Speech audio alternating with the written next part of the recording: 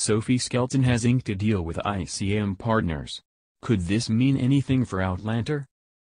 Deadline reported on February 7 that Sophie Skelton has inked a deal with ICM Partners. This is great news for the actress, who is growing in her field and branching out into more movies. The question for many is what the deal means for Outlander. I'll get the immediate worry out of the way, no, it doesn't mean anything for the next two seasons of Outlander. Skelton is part of the cast and there's no way that her character Brianna would be recast. She'll be in a contract for the two years and signing with ICM Partners won't change that. Could it mean something in the future? Well, possibly. But then we're looking at two to three years in the future, depending on filming and air dates. While the cast and crew have all said they want to see the series through to the end, presuming Diana Gabaldon's end, which is still to be written, we don't know what's to come in the future.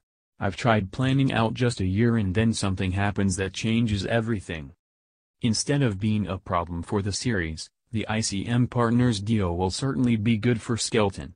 She's gaining more career opportunities and building her portfolio and that has a chance to continue.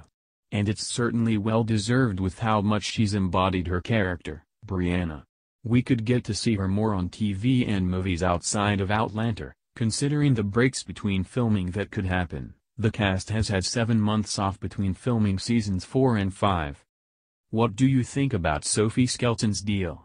What have you loved about her portrayal of Brianna?